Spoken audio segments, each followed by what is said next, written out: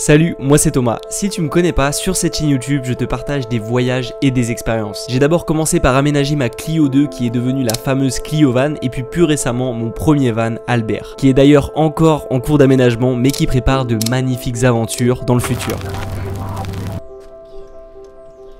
Et justement, en parlant d'Albert, ça va être le sujet de cette vidéo. On peut enfin le dire, on arrive à la dernière ligne droite, au dernier sprint de l'aménagement de Albert. Je suis vraiment hyper content d'arriver et de faire enfin cette vidéo. Ça fait déjà presque un an finalement que j'ai acheté Albert, ça passe vraiment tellement vite. Je repense encore à l'été dernier quand je travaillais tout seul dessus pour tout retirer, tout nettoyer, tout cleaner. Ça paraît déjà tellement loin mais c'est passé vraiment tellement vite. J'ai reçu énormément de vos messages euh, concernant Albert, vous êtes pressé de le voir terminer, vous êtes pressé que je voyage avec et je peux vous assurer que je le suis encore plus. Au programme dans cette vidéo, on va revenir sur les derniers jours, les dernières semaines que j'ai passé à travailler sur Albert. Vous allez voir, c'est pas mal de petites étapes, de petits arrangements pour pouvoir le rendre viable, le rendre vivable et que je puisse bah voilà, voyager pendant plusieurs semaines, plusieurs mois, vivre dedans, travailler dedans. Il s'est vraiment passé plein de choses, c'est un peu allé dans tous les sens, mais on va revenir étape par étape sur ce qui s'est passé sur ce bon vieux Albert. Premier chapitre de cette vidéo, le premier bloc de cette ligne droite, on parle bien sûr de l'électricité. Le système électrique c'est super important, c'est ça qui va me permettre de travailler, de publier des vidéos, de, de créer du contenu, de vous partager tout ce voyage.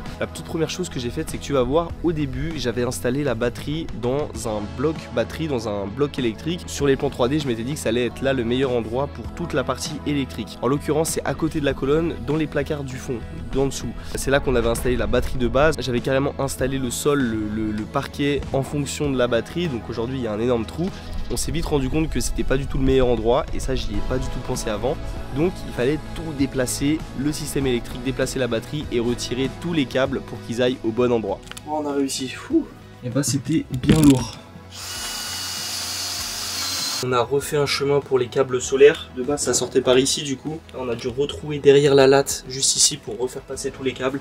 Et on va les faire faire passer par tout le tour ici, sous les cornières euh, du sol.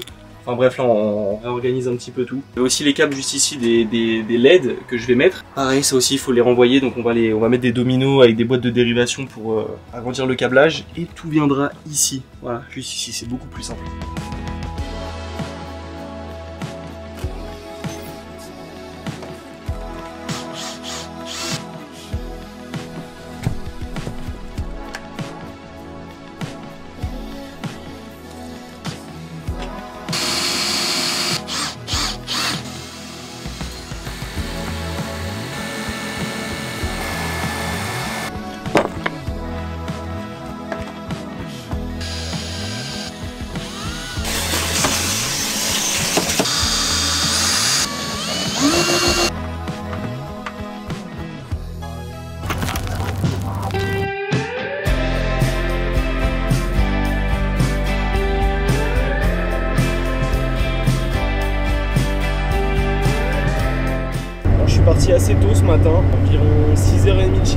Sachant que je suis rentré de l'Islande hier matin. Comme tu peux le voir, je perds pas du tout de temps, je suis de nouveau dans Albert et je reprends ce que j'avais laissé juste avant de partir en Islande.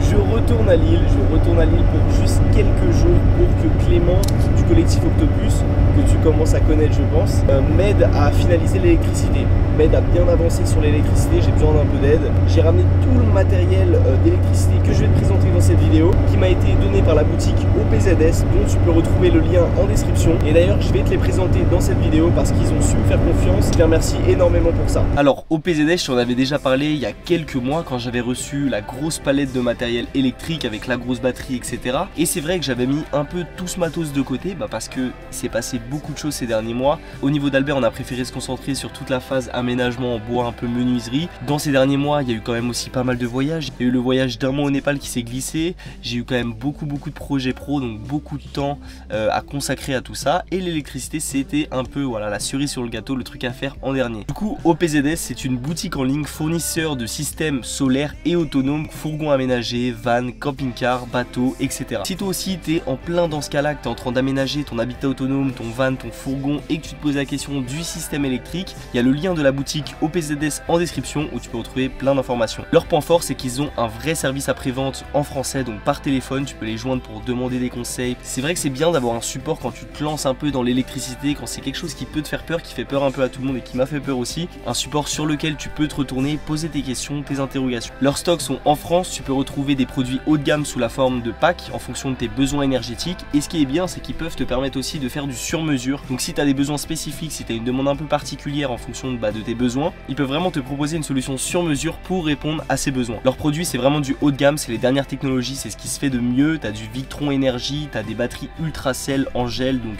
le top du top. Bien, c'est que tu en as vraiment pour tous les prix. Tu as le premier pack qui débute autour de 290 euros avec la batterie 100 Ah, un coupleur séparateur et quelques prises 12 volts. Donc ce qui est largement suffisant pour pas mal d'entre vous. Puis ça va jusqu'à des packs vraiment haut de gamme avec des panneaux solaires, des coupleurs séparateurs, des convertisseurs si tu veux du 220 volts et avoir des prises comme à la maison. Et du coup, pour vous, j'ai réussi à avoir un code promo de 5%. Donc avec le code Albert, 5% c'est toujours ça. Là, c'est vrai que ça représente quand même des gros chiffres, c'est des investissements. C'est quand même un des trucs qui vaut assez cher dans un van et 5% c'est toujours ça. Ça peut faire quelques dizaines d'euros, voire quelques centaines d'euros si jamais c'est un gros pack. Si jamais ça t'intéresse, le lien en description, le code promo, moi je les remercie énormément pour leur confiance. Voilà, ils m'ont vraiment fait confiance au tout début du projet d'Albert, m'ont vachement aidé au niveau du schéma électrique. Donc j'ai pu faire quelques allers-retours pour comprendre vraiment un peu mieux comment ça fonctionnait. Et on peut retourner à Lille pour du coup installer tout ce pack.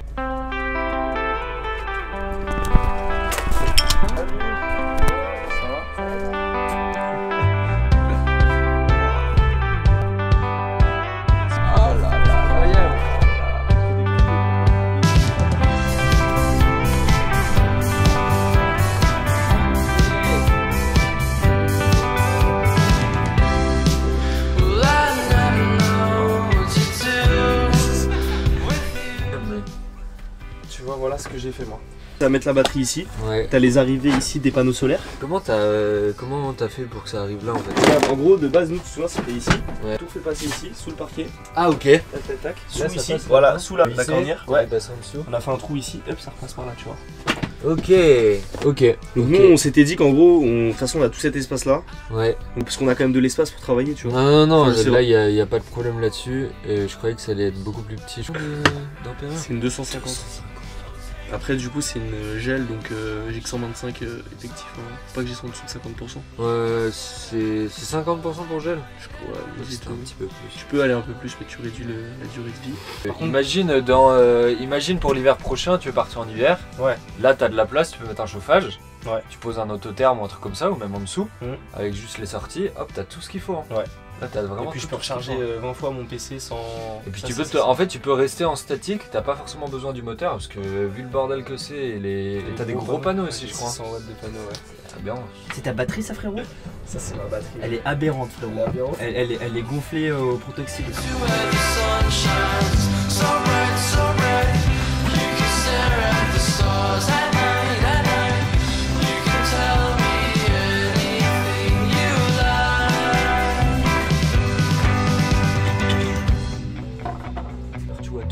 Câbles arriver Ouais. comme ça là, trop stylé.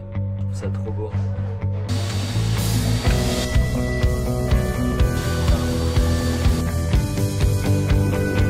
J'ai commencé à faire les raccords euh, de la bande positive de l'installation. Donc là, on a installé un bus bar qui est rattaché à trois gros euh, fusibles. Ces fusibles, ils raccordent les parties positives de, de ton multiplus qui te permet d'avoir du 230 volts, donc de charger tes prises euh, comme à la maison. Mon Orion Smart qui va faire office de coupleur séparateur entre euh, la batterie moteur et la batterie auxiliaire. Et ici le BMW qui va te permettre de euh, sécuriser toute ta partie euh, positive de ton circuit vers le tableau de répartition 12 volts qui est juste là.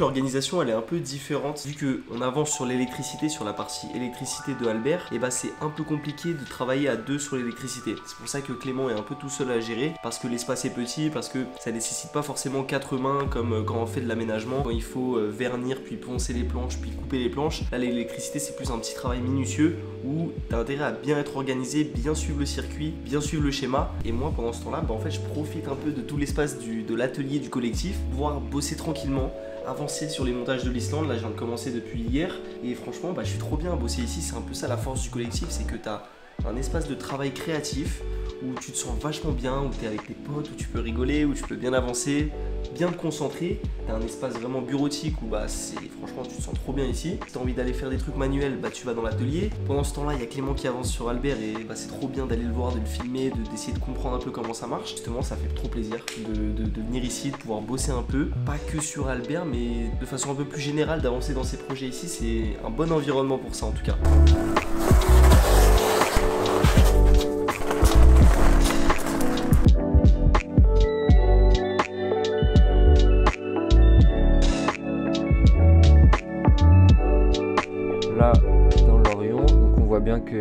Les gars, pour tester le circuit électrique, on va directement essayer de brancher le One Wheel dessus. Comme ça on va voir un peu la conso, je pense que ça va tirer vraiment pas mal. En plus je suis avec le chargeur rapide qui recharge le One Wheel en moins d'une heure. Parce que ça fait...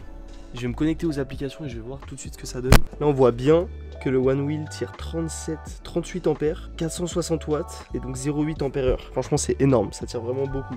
il y a un coffrage à tableau 12 volts, un coffrage derrière les prises, déjà pour les protéger et puis pour éviter que euh, t'aies trop de câbles qui tombent et tout. Ouais. Dans tous les cas, euh, je te conseille de, de mettre quelque chose euh, au-dessus euh, pour bien protéger ça. Fini. Et tac, Fin de chantier. chantier. Le One Wheel qui charge.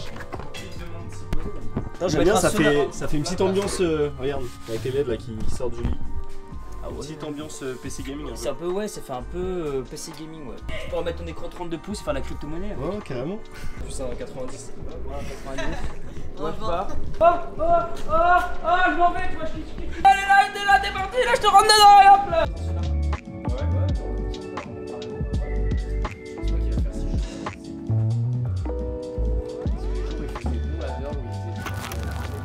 L'électricité, la partie électrique, c'est maintenant réglé. Ça faisait longtemps que j'avais envie de terminer toute cette partie. Et pour continuer, le deuxième chapitre, c'est une partie aussi que j'avais vraiment pas envie de négliger dans Albert, que j'ai beaucoup négligé dans la Clio Van.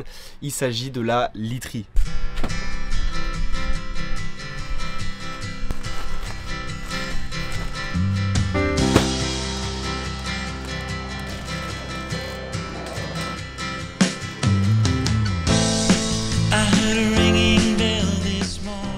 Voici mon matelas, c'est du sur mesure, j'ai pris sur le site topmousse.fr. Alors je suis pas en partenariat avec eux, j'ai payé les mousses. Et c'est plutôt un bon site si tu veux des mousses euh, sur mesure, tu prends tes dimensions et en fait ils te coupent les mousses qu'il faut. Alors voilà, ce que j'ai commandé c'est des mousses de la marque Bultex et c'est un peu la meilleure qualité qu'on puisse avoir. Ça m'a coûté quand même environ 250 euros. C'est quand même un peu cher mais bon c'est un matelas et là j'avais vraiment envie d'un d'un matelas assez confort. J'ai envie d'essayer tout de suite, c'est d'essayer de assembler directement mon lit pour voir si je me suis pas trompé au niveau des mesures.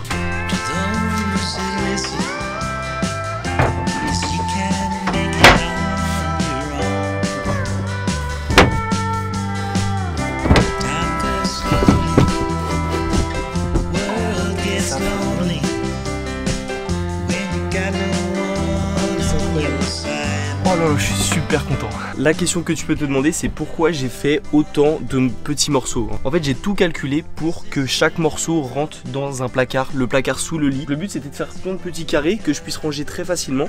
Et tu vas voir que quand je passe en mode banquette, en gros, il y a ça qui reste, donc cette partie-là qui reste sur la banquette, et ça qui va venir comme un dossier normalement. Pas trop ce que ça donne, hein, mais un peu comme ça pour avoir un espèce de dossier. Là, bien sûr, on a la mousse brute, donc on a vraiment euh, que de la mousse. Il faut maintenant passer à tout ce qui est étape couture, donc euh, il y a ma grand-mère qui va m'aider. Et ce qui est bien aussi et qu'on a pensé après, c'est qu'en fait, l'espace bureau, bah, tu peux aussi le déplier quand tu es en mode lit, et ça te fait du coup une très très grande table de nuit. Tu vois, tu peux mettre ton PC ici, te poser par là, regarder un petit film. Tu vois, on est plutôt bien quand même. Et en fait, il suffit juste de, à chaque fois, faire des petites étapes comme ça, d'avancer, tu vois, juste recevoir les mousses, les poser, euh, avancer un petit peu sur l'électricité, juste des petites avancées comme ça. Mais ça motive tellement. J'ai trop envie de partir là.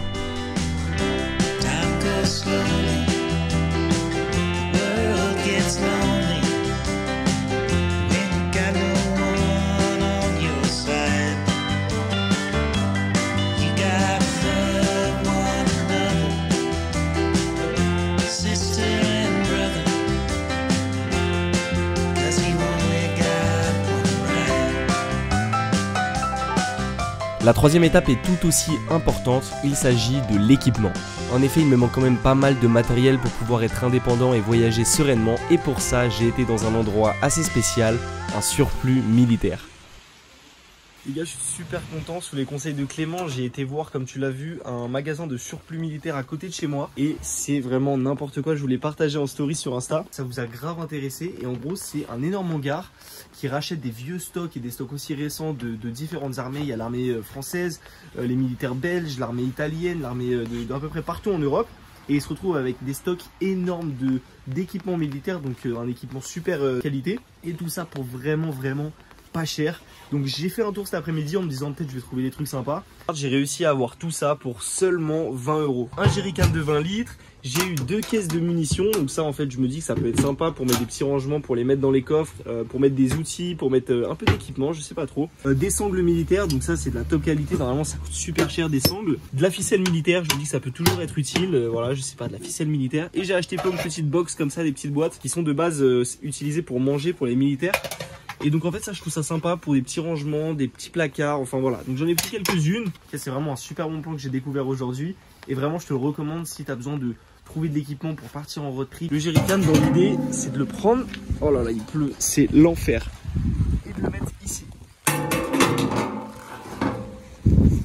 Sur la galerie toit il me reste deux barres avec les panneaux solaires. Bon là ça rend pas très bien, il pleut. Mais euh, tu vois un peu, petit jerrycan sur le toit, ça fait 20 litres, ça fait presque 250 km d'autonomie en plus. On va pas dire non. Bon les gars, dernier petit ajout dans Albert, j'ai reçu il y a pas longtemps cette glacière électrique, donc c'est une glacière d'occasion. Bon c'est une Noroto, je sais pas trop ce que ça donne. De base j'étais en train de rechercher euh, tout ce qui était frigo électrique, frigo à compression, etc. Mais ça coûte directement super cher, c'est genre euh, 300, 400, 500 euros. On est vu jusqu'à 600 euros. Beaucoup trop cher, donc j'ai eu l'occasion de récupérer cette glacière gratuitement. Donc je me suis dit, voilà, pas trop ce que ça donne, c'est pas le truc parfait. Mais bon, pour l'instant, on va prendre ça, on va tester. Donc c'est une glacière électrique d'environ 50 watts, donc euh, elle consomme pas énormément, ça va. J'ai mis quelques produits dedans déjà à l'intérieur. Et en gros, d'après ce que j'ai compris, c'est que tu la branches soit en 12 volts, soit en 220 volts pendant quelques heures, plusieurs heures dans la journée, ça dépend s'il fait très chaud ou pas. Elle se refroidit et en fait, vu qu'elle est isotherme, elle garde le froid. C'est plutôt pas mal, c'est pas comme un frigo, je pense c'est pas aussi efficace. Mais euh, voilà, on va la tester. L'objectif, ce que j'aimerais bien faire, c'est la brancher en 12 volts à ces interrupteurs là, parce que j'en ai plein, il y en a plein de libres. Donc il faut que je retire un câble tout le long, tout le long, tout le long, jusqu'à ici. Ici, je vais fixer ça dans le mur. Donc ça, c'est un interrupteur et j'aurai une prise allume-cigare en plus et une des prises USB encore en plus ici. Ici, dans cette paroi là, et on viendra brancher le frigo à ça. Normalement, du coup, en appuyant sur ce bouton-ci, on activera la glacière. Donc là, euh, voilà, j'ai plus que ça à faire. On va se mettre au.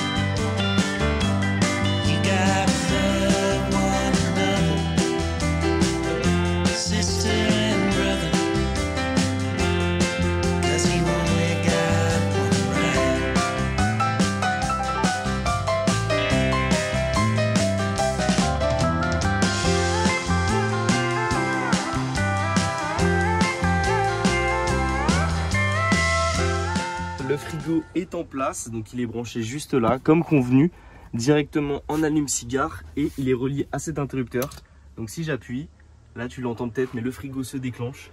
La petite lumière aussi. Et surtout, ce qui est super pratique, c'est qu'ici j'ai deux prises USB en plus, donc ce qui fait un total de 4 prises USB dans Albert. Franchement, on est plutôt pas mal. Comme tu l'as vu, il y a quelques jours, j'ai acheté pas mal d'équipements militaires, notamment pas mal de rations de survie, des gamelles, etc.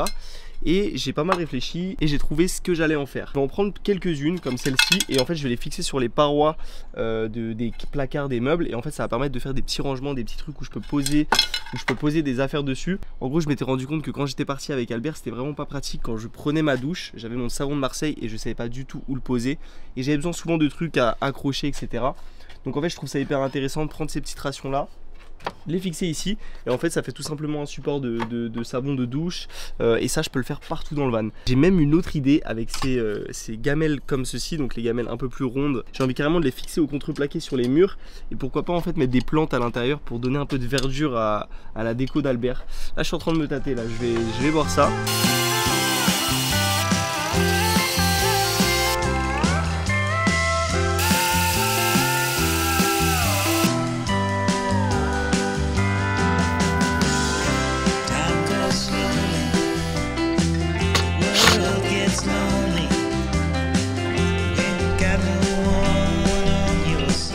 La dernière partie qui est aussi super importante et à ne surtout pas négliger est bien sûr la mécanique. Après une bonne vidange des fluides et des huiles que j'effectue environ tous les 5000 km, j'emmène Albert à l'atelier du musée conservatoire de Citroën pour effectuer une bonne révision et surtout changer son réservoir. L'ancien réservoir d'essence était complètement rouillé et me donnait des trous dans l'accélération, des sortes de broutages lorsque je roulais à une vitesse constante pendant un certain temps. C'était donc à obligatoirement changer avant de partir en voyage.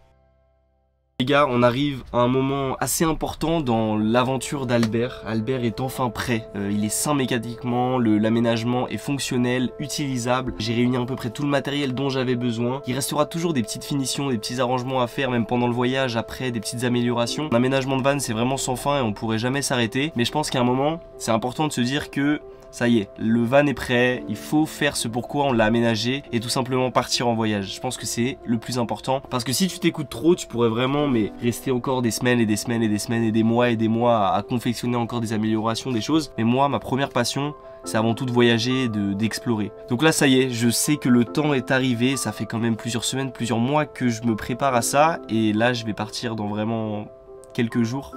Demain, après-demain, après-après-demain. Mon premier grand voyage tout seul en van. Ça va faire bientôt peut-être deux ans que je rêve de ça. Et se dire que ça arrive enfin, bah, ça met un peu la pression, je te cache pas. Mais je suis quand même hyper content. Donc j'ai le plaisir de t'annoncer que la prochaine vidéo sera la première vidéo du grand road trip, du grand périple avec Albert. Son premier, j'espère. On partira direction le sud, direction plein sud pour euh, changer de continent. Donc si tu l'as bien compris, direction l'Afrique du Nord. Je sais pas où l'aventure me mènera, il y, y a plein de possibilités, je me laisse vraiment guider. Si tu as envie de suivre cette aventure, bien sûr, abonne-toi à la chaîne pour ne pas manquer les prochaines vidéos et surtout la prochaine vidéo. Tu peux aussi me rejoindre sur Instagram pour voir toutes mes stories, tous mes posts en direct. J'aime bien faire des lives pendant les voyages, franchement ça permet de, de discuter, etc. pendant le voyage. Donc like cette vidéo si elle t'a plu. Moi je suis trop content de l'avoir faite. Mets des commentaires si t'as des questions sur l'aménagement, sur le voyage que je prépare, si t'as des questions en général ou des remarques tout simplement. Et on se dit à la semaine prochaine pour la prochaine vidéo qui va être incroyable.